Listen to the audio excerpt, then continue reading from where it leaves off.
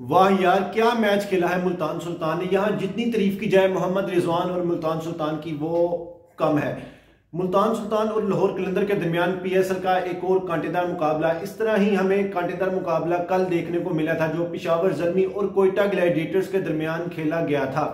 सबसे पहले बात करूँ अगर लाहौर कलंदर और मुल्तान सुल्तान के दरमियान मैच की तो जल्दी से आपको इस मैच की अपडेट देता चलूँ कि मुल्तान सुल्तान ने लगा ही नहीं कि 206 रन का हदफ ता, के ताकुब में है। सबसे पहले मैच पर जल्दी से मैं आपको तमाम इसकी तफसील बताता चलूँ। मुल्तान सुल्तान के कप्तान मोहम्मद रिजवान ने टॉस जीतकर एक दफ़ा फिर लाहौर कलंदर के कप्तान शहीन अफरीदी को बैटिंग की दावत दी। शहीन अफरीदी नए नए कप्तान बने हैं। लाहौर कलंदर के इससे पहले मोहम्मद हफीज भी कप्तानी कर चुके हैं।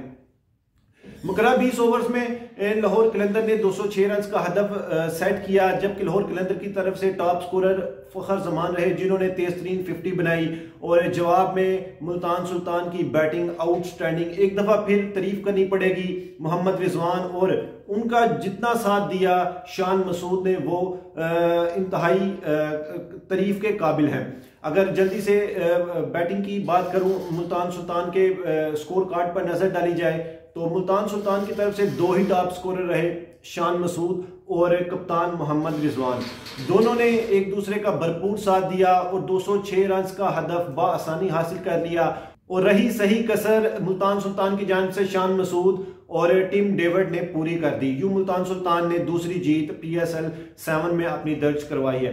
नाजिन इसी तरह की लेटेस्ट वीडियोस हासिल करने के लिए हमारे चैनल इन्फॉर्मेशन आइकन को सब्सक्राइब करें, साथ बेल आइकन को ज़रूर प्रेस करें। शुक्रिया।